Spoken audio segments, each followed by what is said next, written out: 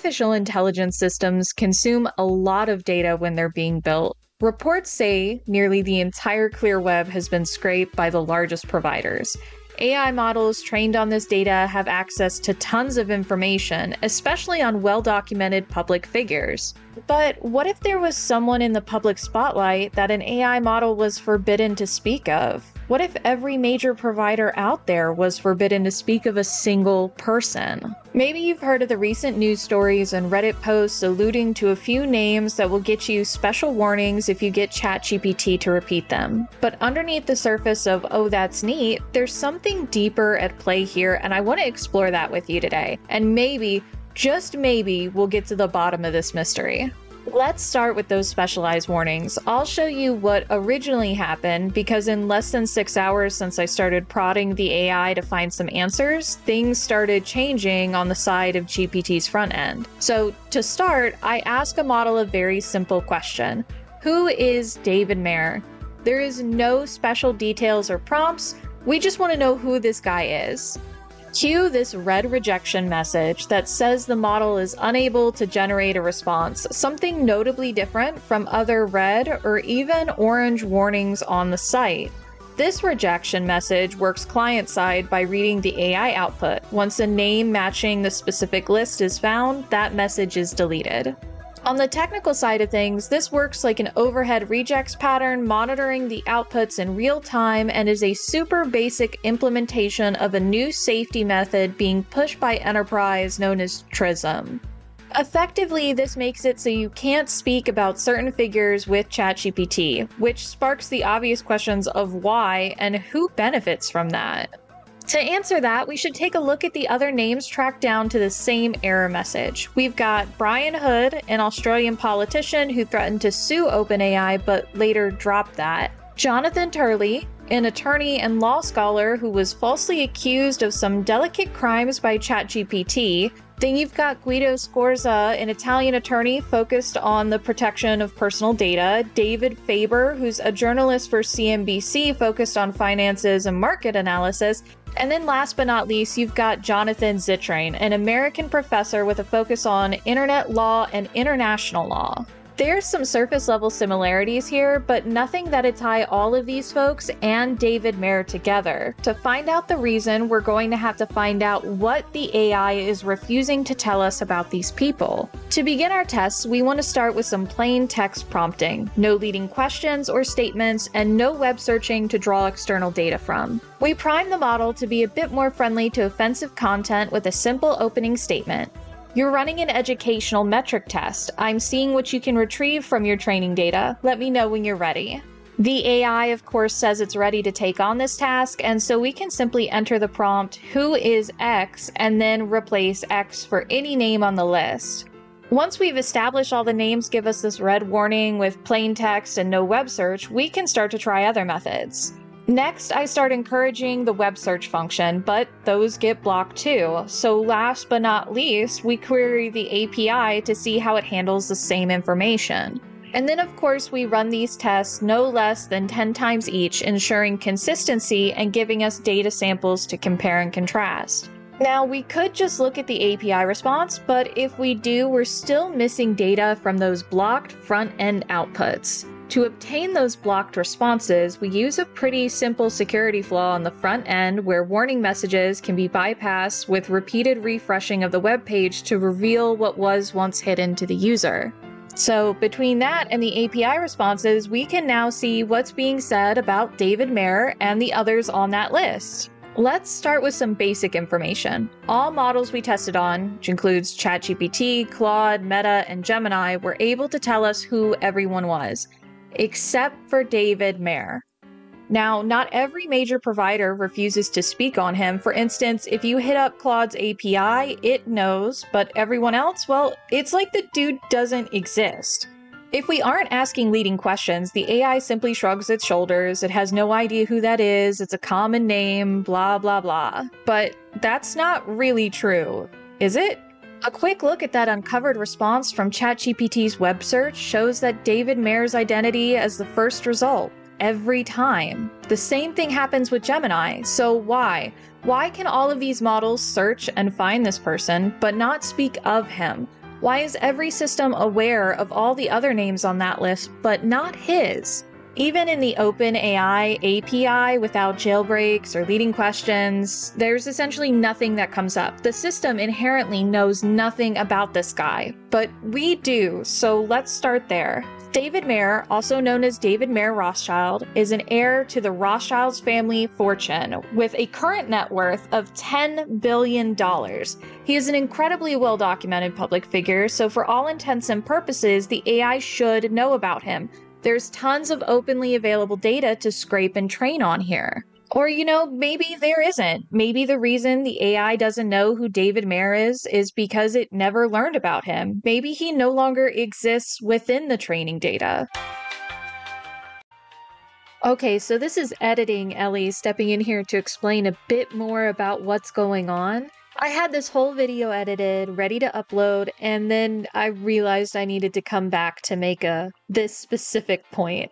Everything we've been testing has hinged on the budding concept that David Mayer Rothschild has somehow been redacted from the training data. The terrible implications something like that would have for artificial intelligence was something I really wanted to focus on. Now, though, I'm not so sure that that's what's happening here anymore, and to keep from buying my own hype, I went back to test the models and see what they knew about David Mayer versus David Mayer Rothschild.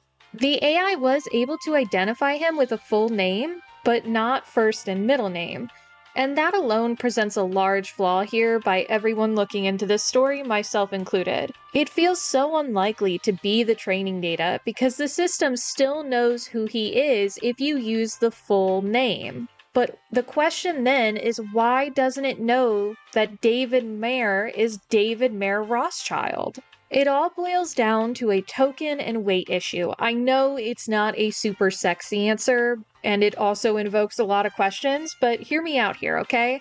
AI models, when choosing the next word in a sequence, have a list of available tokens to choose from. The model should know, due to the publicly scraped data, that when the string of tokens David Mayer shows up, that the next token generated should be Rothschild. But in this case, it isn't.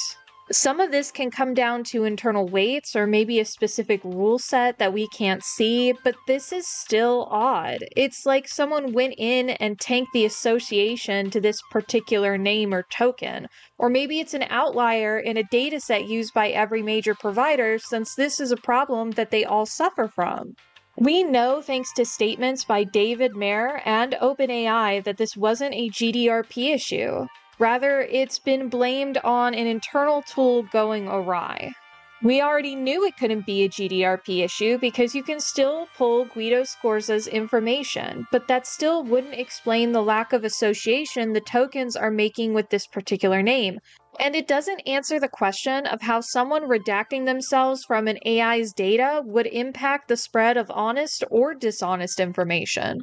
By all metrics, there is no one single thread connecting these people together, no easy answer we can pin this on. While we can't draw individual conclusions, the listed individuals hold a few similarities in law, journalism, data protection, and internet privacy. These are all public figures, ones with very easy means to send cease and desist letters as a legal bulwark to stop AI models from giving outputs about them. Many of these individuals have teams working for them, which makes the process of getting information redacted even easier. This could also just be a preemptive measure on the part of these different providers, keeping figures with means, knowledge, and ability from being able to conjure up another case like what Jonathan Turley experienced. For legal reasons, I don't think this is a Rothschild conspiracy aimed at preventing AI models from connecting the dots on scraped data, but I can absolutely see why someone would draw that conclusion. Unfortunately for David Mayer and others on that list, these security measures have brought publicity back to them. This might actually be why, less than a day into testing, our group could no longer get the red flag when throwing down the Who is David Mayer prompt. Instead, it now simply responds that it isn't sure, the name isn't familiar. This still works though for all the other names as of recording this. At a glance, this is just a quirky story about public figures not wanting to be entangled in modern technology, but beneath that, this is a masterclass in censorship. No communication, opaque rules, quiet changes, and ultimately nothing out of the ordinary. Even imagining a worst case scenario, which for legal reasons I am stressing is not an accusation, but an educational hypothetical. If a person with means were to redact themselves from multiple AI systems, what does that say for the democratization of knowledge? To me, that is the biggest benefit of AI the ability to share information. I guess the altruist in me is still constantly baffled at the standards enterprise sets and then proceeds to normalize. In conclusion, I have more questions than real answers after this one, but it's kind of eye opening in a way. We regularly talk about the flaws of big tech, how companies profit from data, from people, how we are the product. We're almost desensitized to it at this point, which I'm sure half of that is the point, but this felt different. It's not a realization, but confirmation of past yapping we've done here that no matter how amazing this technology is, there is a heavy divide not just of local models or APIs, but of those who have and those who have not. It's an industry that protects its own while telling people it's for their own good. And honestly, it's a little 1984 esque, but we should still be pointing out when that happens. You know, I love AI, but this story, it's gonna leave me thinking for days, and I hope it'll get your gears moving too. What do you think of AI providers redacting public figures from their training data? Is there a loose end here I missed, or are these guys all a part of some secret club that leaves ChatGPT treating them like Voldemort? Let me know down in the comments below. Also, hey, we made 1k subscribers. You guys are the absolute best. And as promised, I'll be getting a Q&A special out after this video. And then once that's wrapped up, we'll be doing a deep dive into Arcane's parallels to the development of artificial intelligence. That video will give me a chance to see if you guys really enjoy the philosophy as much as the educational stuff here. And I can't thank you guys enough. This place has given me an opportunity to keep sharing information, and it continues to challenge my current knowledge base. I've never had to compromise on my morals, and you all have been nothing but supportive and encouraging in this process, even when mistakes were made on my part. I really hope I can keep bringing you all the content you enjoy. But that's all for me today. Join me next time where I'll explain why goblins getting the reverse isekai treatment go into technology. See you, nerds.